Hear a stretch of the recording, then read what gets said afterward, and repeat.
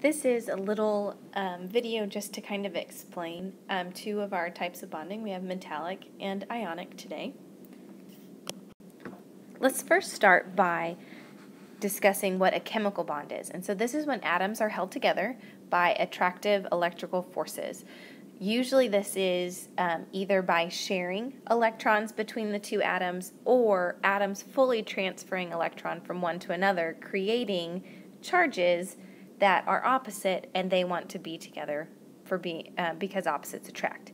So we have four main types of bonds. We have metallic bonds, ionic bonds, then we have molecular polar bonds and molecular nonpolar bonds. Sometimes you'll see molecular being referred to as covalent. These words are just interchangeable. So a metallic bond um, happens in between metals, and as we know, metals don't really like to hold on to their electrons. So if we have metal atoms um, in a pattern, which we call a crystal lattice, they have these electrons just kind of get to float freely all over the place. So we say it kind of looks like this sea of electrons with these little metal boats just kind of sticking all over the place. So the atom is like this boat, and then it's kind of floating on all of these electrons that are able to move all over the place. So these electrons are shared freely. This is what allows the electrons to move towards a charged thing, or it allows electricity to flow through metals. Ionic bonding is very important in chemical reactions, and these are when electrons are fully transferred between a metal to a nonmetal. And these are the only types of bonding um, between metals and nonmetals. So, um, as we know, metals like to give up their electrons very easily. Nonmetals like to take electrons.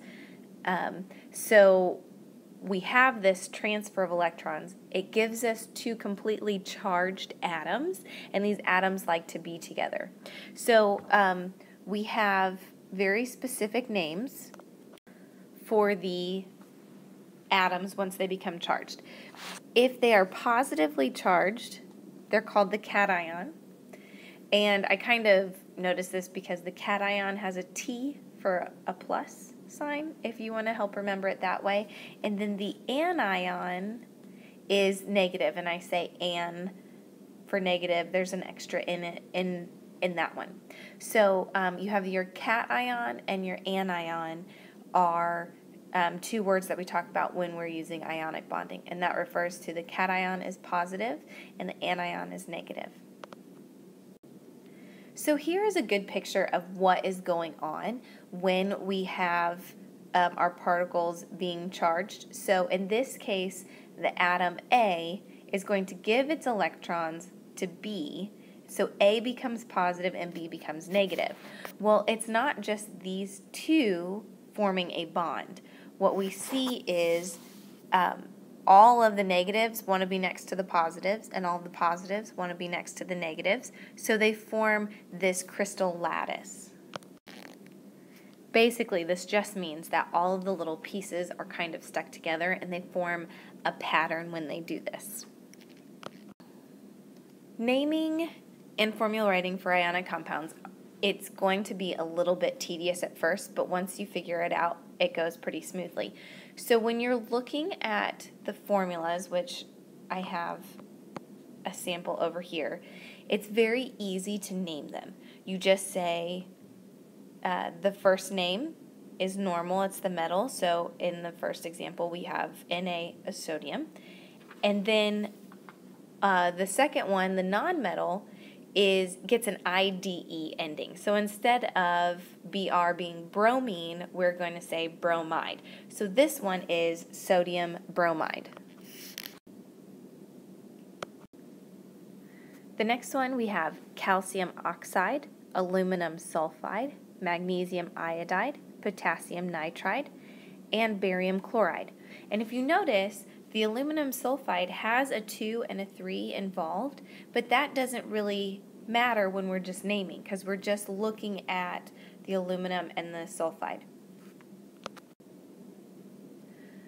Going the other way, we do need to pay attention to those numbers and we do need to pay attention to those charges. So we have lithium chloride And we'll go ahead and write down those ions that they generally make.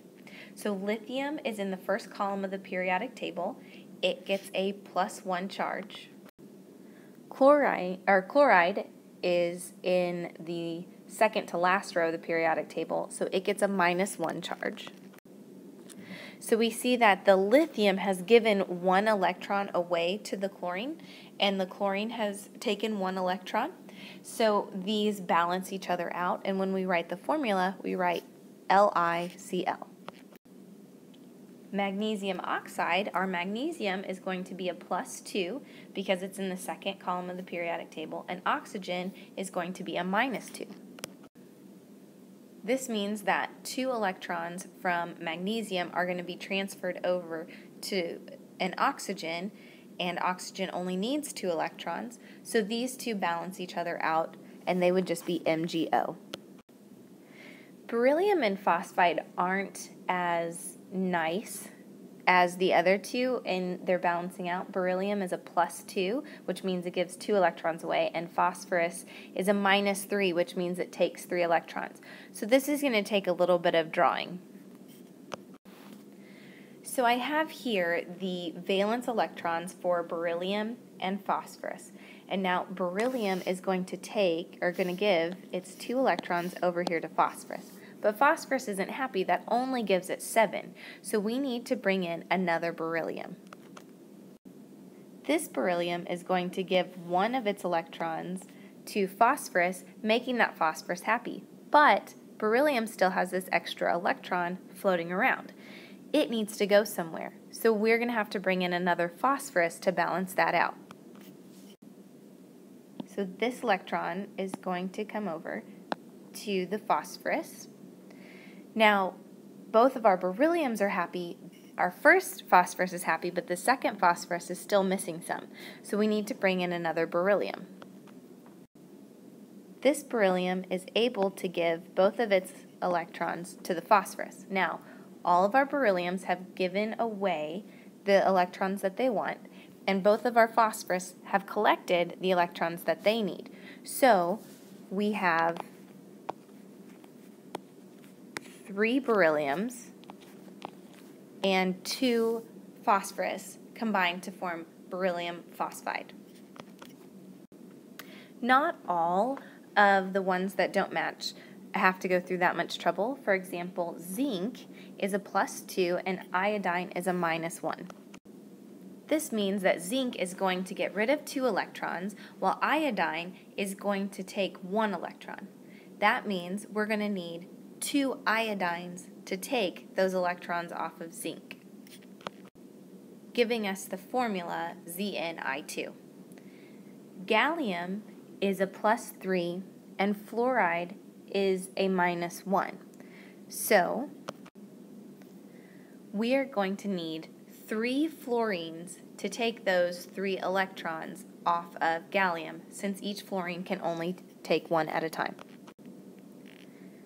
Rubidium is in the first column of the periodic table. It's a plus charge. And nitrogen is a minus 3. This means that nitrogen wants three electrons, but rubidium can only give one apiece. So we're going to need three rubidiums to balance the nit or to give its electrons to the nitrogen. So when we um, go from words to formulas, we have to look at this charged step. So we're going to have to write out the charges and see how many of each we need to balance each other out. Next, we're going to talk about what happens when we have polyatomic ions. Polyatomic ions are treated just like any other ion, except for this is a grouping of atoms. So polyatomic literally means many atoms. So let's look at the example that we have. So we have potassium and nitrite. If we draw out their valence electrons like we have for the previous ones, we will see that potassium has one valence electron. And then our nitrite since it's a minus one charge, it acts very similarly to fluorine, chlorine, bromine, iodine, all of those with the negative charges.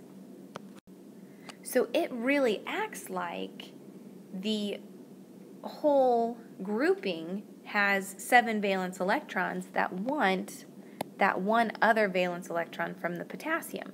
So in this case, when we go to name them, we just say potassium nitrite.